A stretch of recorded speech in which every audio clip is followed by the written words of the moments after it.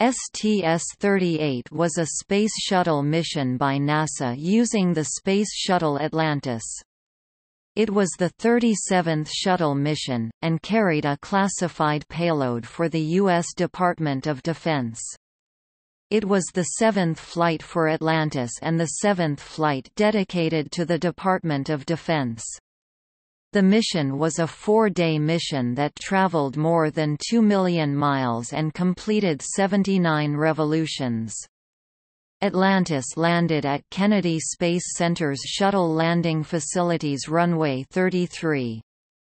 The launch was originally scheduled for July 1990, but was rescheduled due to a hydrogen leak found on Space Shuttle Columbia during the STS-35 countdown. During a rollback to the Orbiter Processing Facility Atlantis was damaged during a hail storm.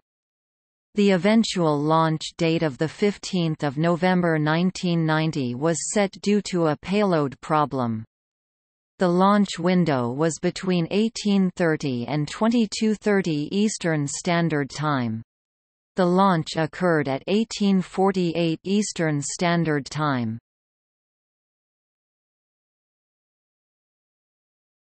Topic: Crew.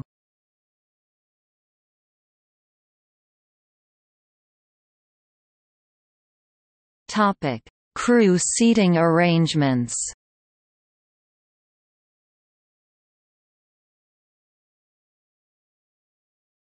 Topic: Preparations and launch. The launch occurred on 15 November 1990, 18 hours 48 minutes and 13 seconds Eastern Standard Time. It was originally scheduled for July 1990, however, a liquid hydrogen leak found on Columbia during the STS-35 countdown prompted three precautionary tanking tests on Atlantis at the pad on 29, 13 June–July 25 July 1990. Tests confirmed the hydrogen fuel leak on the external tank side of the external tank, orbiter 432 mm 17.0 in quick disconnect umbilical. This could not be repaired at the pad and Atlantis was rolled back to the VAB on 9 August, demated, then transferred to the Orbiter Processing Facility OPF. During rollback, the vehicle remained parked outside the VAB for about a day while the Columbia, STS-35 stack was transferred to the pad for launch. While outside, Atlantis suffered minor hail damage to its tiles during a thunderstorm. After repairs were made in the OPF, Atlantis was transferred to the VAB for mating on 2 October. During hoisting operations, the platform beam that was to have been removed from the orbiter's aft compartment fell and caused minor damage, which was repaired. The vehicle rolled out to Pad A on 12 October 1990. The fourth mini-tanking test was performed on 24 October, with no excessive hydrogen or oxygen leakage detected. During the Flight Readiness Review, the launch date was set for 9 November 1990. The launch was reset for 15 November due to payload problems. Liftoff occurred during a classified launch window lying within a launch period extending from 1830 to 2230 Eastern Standard Time on 15 November.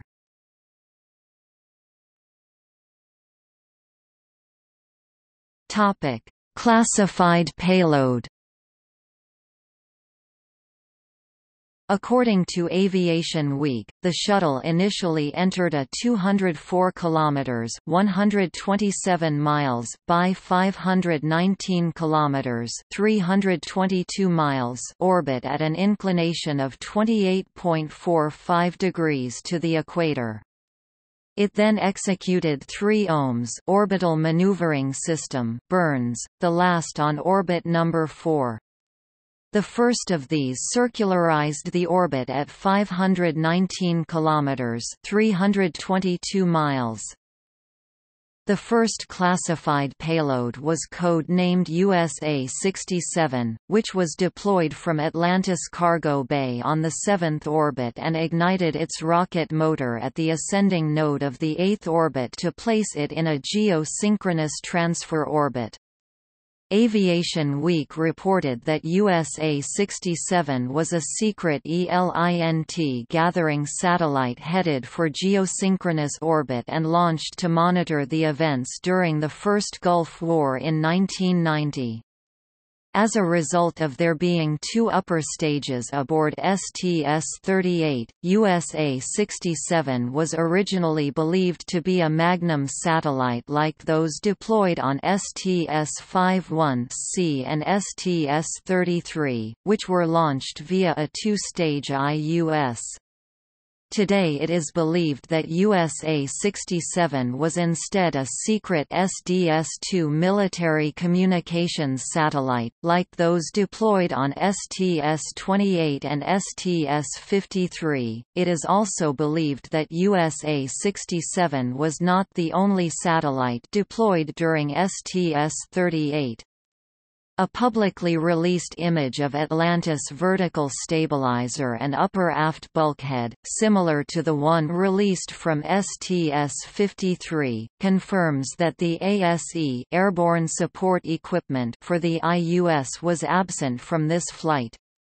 An explanation is that two separate satellites were deployed, using single-stage PAM-D modules. Rumors that appear to have been substantiated by the identification of an unknown geostationary satellite by amateur observers insist that the second payload was a stealth satellite known as Prowler, reportedly intended to covertly inspect other nations' geostationary satellites.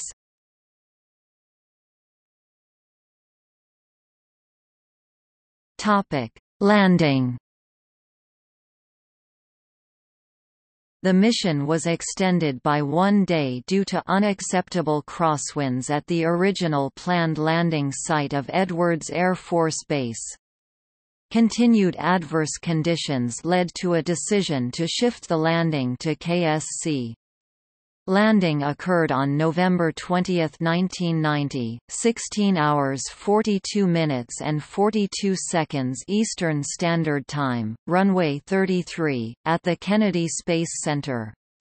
The rollout distance was 9,032 feet 2,753 meters and rollout time was 57 seconds. STS-38 marked the first KSC landing for Atlantis, and the first shuttle landing at KSC since April 1985 the last being STS-51D. Atlantis weighed 191,091 pounds, 86,677 kilograms at landing.